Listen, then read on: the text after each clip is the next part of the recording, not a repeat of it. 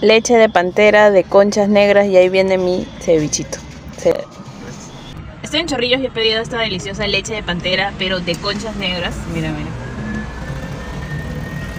Antes he tenido una muy buena experiencia con las conchas negras, la verdad. Antes, o sea, en otro lado, no acá.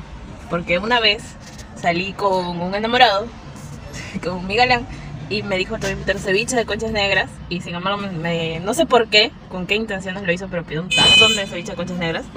Y me hizo comerlo todo, todo. Y entonces estaba, la verdad, no sé, me hastié, creo, no me gustó mucho. El saborcito también, no. Pero esta vez me animé a probar porque vi un tremendo letrero acá en Chorrillos, se llama Donde Lucy. Y entonces me animé a probar esta leche pantera de conchas negras. Y vamos a ver qué tal.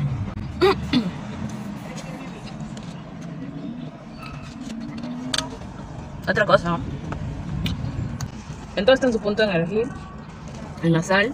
Porque la última vez que lo probé en otro lado estaba salado. Y el juguito no sé, no me pareció, pero este la verdad sí está bastante bueno.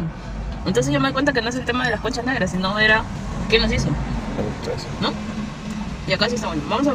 Esta es la leche de pantera. Y también nos hemos pedido ceviche de poto. ¿De pota? ceviche de pota. ¿De pota? ¿Qué estoy hablando huevadas? Ceviche de concha negra. Esa es la leche de pantera y este es el ceviche de concha negra.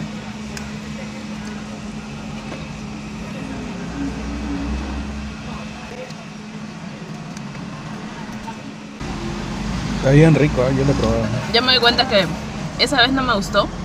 Porque, eh, bueno, la que nos lo vendió no lo hizo tan bueno, pero esto sí está bastante rico. De verdad que me ha gustado.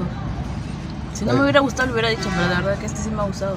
Luego les paso el dato de dónde lo compré. Todos mis amigos del buen comer, acá vengan donde Ceci, donde se come rico. Comida, sazón de casa. Te invito, ven y prueba.